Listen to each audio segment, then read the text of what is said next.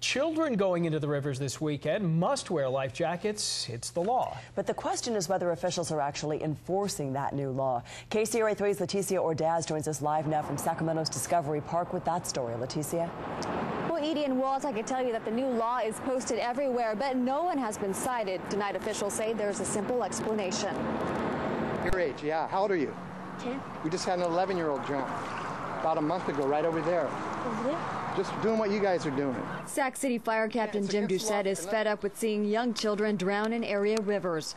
On Friday evening, he walked around Discovery Park warning kids and parents about the new life jacket law. If you're under 13, it's against the law for you to be in the water without a life jacket. Are the boy's guardian was told she was breaking the law, but wasn't issued a citation. Will you guys be making any changes because of the new law? Um, yeah. I guess so. Fire officials and police say it's not about punishing parents, but educating them about the dangers. And we, we could care less about fining people. You know, that's not why we endorse that ordinance. We want people to realize that kids and adults drown in these rivers.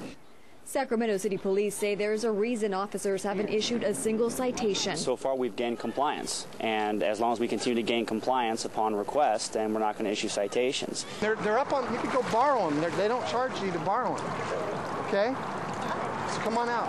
People in the river say giving parents too many warnings may hurt the new law. Hit them in the pocketbook or something to, where they have to be liable for the, for the child's uh, well-being.